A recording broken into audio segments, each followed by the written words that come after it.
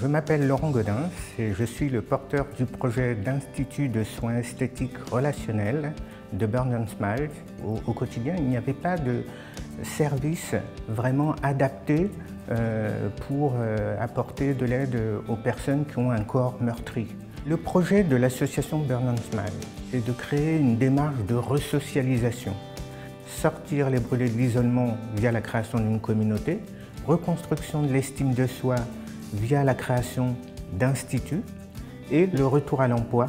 Pour créer ce premier institut, on a besoin d'un budget de 300 000 euros.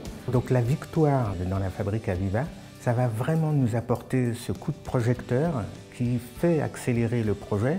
Ça permet vraiment d'envisager la création du premier institut, mais surtout la création du réseau, puisqu'on veut que ce soit un service de proximité. Aviva, la bonne idée.